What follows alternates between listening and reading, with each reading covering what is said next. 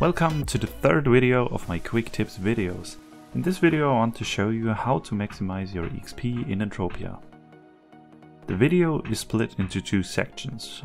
First we have the Platinum 1 to Platinum 40 and second we have the Platinum 41 to 50. First off, Platinum 1 to Platinum 40. To maximize your XP, here is a full list of what you need. Get yourself Leecher level 1 in a contribution party. This increases your XP by a lot and you should always have it following you. Second, get yourself a couple. Once leveled up to the maximum, you will get 35% more XP. Next up, always be in a guild. The guild not only provides you with awesome people to chat, play or trade with, but it also grants you powerful guild buffs.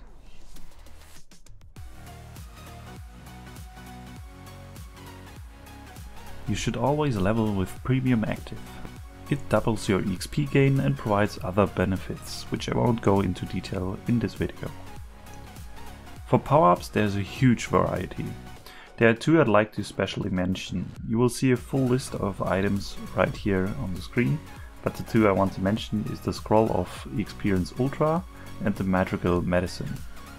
You can stack 5 Scroll of Experience Ultra and get up to 250 XP from it, and they only cost you 500 Entropia chips. So you should definitely get those.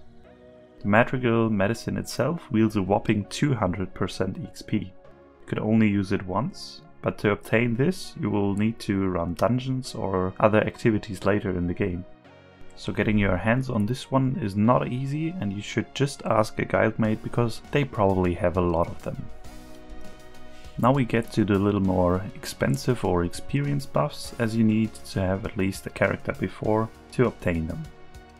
For the anarchy buffs you can always look out for the XP buffs. There are three currently I think. One can be activated by pressing Ctrl L but you need to pay 50 perins, which as a beginner is not really recommended. You should only do this if you're experienced. The next is the Shiny Entropy accessory set. This set provides you 50% more XP.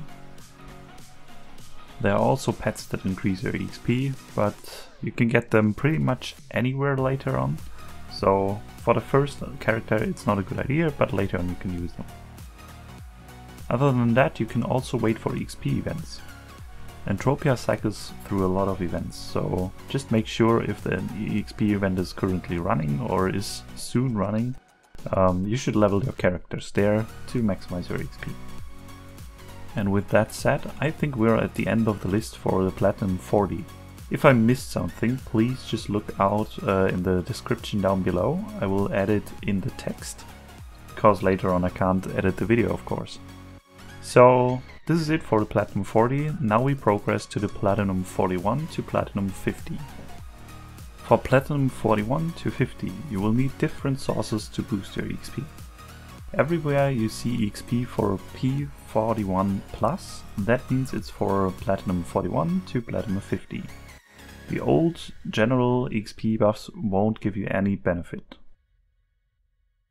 All of the mentioned EXP boosts from the list earlier are still working, besides the power-ups, pets and the accessory set you have. You would need to change them as followed. For power-ups I will blend in a list of all the available power-ups. You should get the Scroll of Platinum 40 Experience Ultra and of course Premium. Those two alone will increase your XP by a lot. As for the accessory, you would need to upgrade to the Aura accessory which you get from Aurania. This is it for the XP power-ups from Platinum 41. If you have a power-up that I missed in this video, please write it in the comments below and I will surely include it in the description of the video. I hope this video helped you and we will see us in the next video.